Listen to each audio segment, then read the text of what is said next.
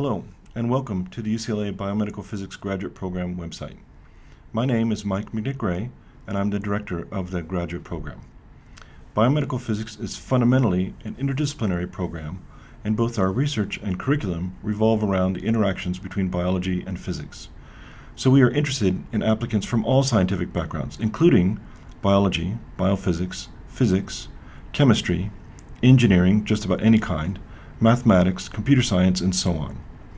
We are part of the graduate program in biosciences at UCLA, and we're both an NIH supported training program and a CAMPEP accredited graduate program in medical physics. To tell you more about our program, we're developing a series of short videos by our students, both current and past, to explain some of the fundamental ideas of their research. We hope you find these interesting and informative, and if you are interested in applying to our graduate program, please visit our website at www.bmp.ucla.edu for more information. Our contact information is there as well. Thank you. Hi, I'm excited to talk to you a little bit today about uh, the work that I've been doing in the biomedical physics track through the Division of Molecular and Cellular Oncology. This encompasses uh, radiation biology. So, who am I? Uh, my name is Nathan Martin, and I recently graduated from the program uh, in radiation biology. But I actually started out in as a physics undergrad uh, doing space science type of research. Uh, but I came to UCLA uh, to do the biomedical physics program uh, to get involved more with the medical applications of physics. And became really interested in radiation biology and, and now have become a molecular biologist. So, why did I make this transition to radiation biology uh, when I was more of a physicist to begin with? Well, I always thought it was funny in uh, my physics undergrad where everyday objects uh, like you and me or animals were always approximated as a sphere in, in you know magical physics world uh, where there was no friction and, and everything was was fine. Now, what was interesting uh, when I started to learn a little bit about radiotherapy and, and the treatment plans, turns out the treatment plans are designed uh, or customized basically off of patient geometry. Uh, so there's a patient with some tumor that has some shape in a part of the body, and the treatment plan is really designed and optimized based off of geometry. It turns out, from a biology perspective, uh, averages for how people's tissue uh, across large populations are used um, instead of any kind of patient specific uh, biology response. So I was really interested in whether or not I could learn a little bit about how uh, patients react to radiotherapy from a biology standpoint and whether or not I could start to get towards uh, treatment planning that was based uh, not just on geometry but really about patient specific biology as well. So this was what really got me into uh, radiobiology. And as I started to dig around a little bit, I found out, at least for ionizing radiation, which is a type of radiation that you see in CT scans or X rays or radiotherapy, turns out that DNA is really important. And specifically looking at DNA double strand breaks. And so when cells are radiated, uh, whether in, in a culture dish or, or as part of a radiotherapy plan, uh, DNA is broken, uh, creating a double strand break, so both sides of the DNA are broken open. There's actually very complex and well orchestrated uh, repair mechanisms that are activated to handle this damage. Now, when these work well, uh, the cells can survive, the integrity of the genome is maintained. Uh, but if there's any problem with these repair mechanisms, it's actually very toxic for the cells. Now, this is good for tumor tissue. Uh, we want to damage the DNA and, and, make it so the tumor tissue can't survive. Uh, but we don't want the healthy tissue to die as well. And that's really the crux of radiation biology is understanding how to leave normal tissue alone, uh, but really target the tumor tissue with radiation. So as I started looking around at uh, labs in the program, uh, looking for something that, that might study this uh, reaction to radiation in terms of DNA repair, I settled on the Gatti lab. Uh, so this lab studies human radiosensitivity disorders, which is really the, the genetic basis for uh, sensitivity to radiation. So, like I said, we study rare genetic disorders uh, that result in patients who have a high risk for cancer uh, because they have unstable genomes.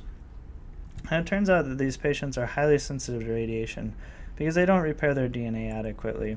Uh, so sensitive, in fact, that low doses of radiation can actually be lethal for them. And one of the main patient populations that we've studied uh, over the last few decades has been a disorder called ataxia telangiectasia. It's always a tongue twister, and so we call it AT for short.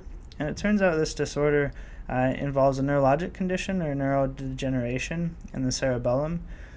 But also, the, these patients don't recognize DNA damage or repair it adequately, and, and that's where the sensitivity to radiation comes from. And so we do some clinical testing to identify these patients and other patients with known radiosensitive disorders. But along the way, we pick up a lot of patients who are radiosensitive or their, their cells are radiosensitive, uh, but we don't know why. We don't know the genetic basis for it. And that's where I come in on, on kind of the research component of our lab. And we're interested in studying these, these unknown radiosensitive cases to identify new mechanisms of sensitivity. So these patients are really windows into how our cells and, and really how we uh, react to radiation. So we're always interested in discovering new radiosensitive disorders because they represent uh, new ways that we can understand how our cells and how we respond to radiation. And one of the studies that I've done that I'm going to tell you a little bit about involves a gene called MTPAP. So we identified this gene as being possibly radiosensitizing uh, for cells by doing uh, what's called exome sequencing. Uh, so we looked through a number of patients with this exome sequencing technique. And what it looks for are mutations in the coding regions of genes, or the parts of genes that go on to code for proteins. So through this, uh, like I said, we found a mutation in MTPAP. It was a homozygous mutation, uh, meaning it was the same mutation on both arms uh, both copies of the gene. And two Amish patients that we were studying, they're actually siblings. Now, it turned out these patients were radiosensitive, uh, which I'll show some data for here. Um, so, what we see here is uh, our assay to look for radiosensitivity is a clonogenic survival assay. Uh, this is an experiment or assay that uh, we irradiate the cells um, and then we wait about five generations for them to grow to see which ones survive long enough to become what's called clonal, or able to divide over, over five generations. So with wild type cells, when we expose them to one gray of ionizing radiation, we see about half the cells survive. Whereas with an AT patient, which is the, our, our known radiosensitive disorder, uh, we see only about 10% of the cells uh, can go on to be clonogenic. And the two patients that I was studying with this MTPAP mutation, RS63-3 and 7, I see a similar response to the radiation as we see in AT patients, uh, meaning that they're radiosensitive. Now, in the rest, the siblings in the rest of the family, uh, I found that there was normal uh, response to radiation, and these are the patients that don't have two bad copies of this MTPAP gene. So we had a pretty strong association between MTPAP, and the radiosensitivity that we see in the two patients. But this was just an association. And so what I needed to do was show that this gene, MTPAP, was actually causing the radiosensitivity that I was seeing. So what we can do is actually add back a normal copy of the gene, or a wild type copy of the gene. So when I did that in these patients, again with just the control gene that we can add in, or an empty gene, uh, I found that, again, these patients are very sensitive to radiation, uh, similar to our known radiosensitive disorder. But when I add back a wild type copy of the gene, in both patients, the survival increases and actually increases up to normal levels of radiosensitivity or normal survival after radiation. And this really proved it for us that the MTPAP gene was the reason that these patients were, or the, the reason the patient's cells were radiosensitive. This was pretty interesting, and we actually learned quite a bit from these patients. It turns out that these patients, uh, it seems anyways, have an atypical presentation of radiosensitivity. It seems that their mitochondria are very important for how they respond to radiation. And in other known radiosensitive disorders, this hasn't been the case. It's really been purely a DNA repair or DNA damage recognizing defect. And turns out in these patients that it looks like the mitochondria are pretty important, um, and the antioxidant response is very important. So this gave us really a kind of a new look into um, other mechanisms that might sensitize patients or patient cells to radiation, and gives us a new avenue to study uh, for this radiosensitivity. It was also interesting because I was able to treat uh, these patient cells with antioxidants, and it turned out that it actually improved their survival and improved their response to this DNA damage.